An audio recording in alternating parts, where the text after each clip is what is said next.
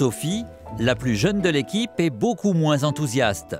Elle a de l'expérience à cheval, mais l'idée de partir en promenade avec Brexin qui n'a que 5 ans l'angoisse. Bah alors Brexou, on va faire une balade? Hum, Génial, il adore les balades lui. Il est débile en balade.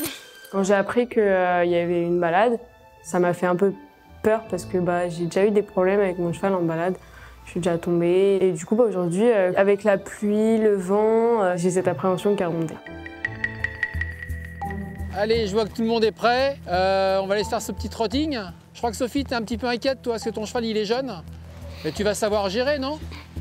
Je sais pas. Alors, la problématique de Sophie, c'est qu'elle a un cheval qui est très jeune et qui aujourd'hui, euh, de temps en temps, peut partir un petit peu dans des petits rodéos qui peuvent l'inquiéter et elle se stresse à l'idée de ne pas pouvoir le contrôler en extérieur.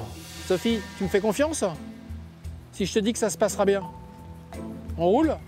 Tu pars avec moi On se met devant Allez, on positive, c'est parti Maintenant, aujourd'hui, euh, j'ai pas d'autre formule que de l'obliger un petit peu à prendre sur elle. À peine sorti de la carrière, Brexin fait des siennes. Ça va être hyper facile. Sophie, allez, en avant, en avant, en avant.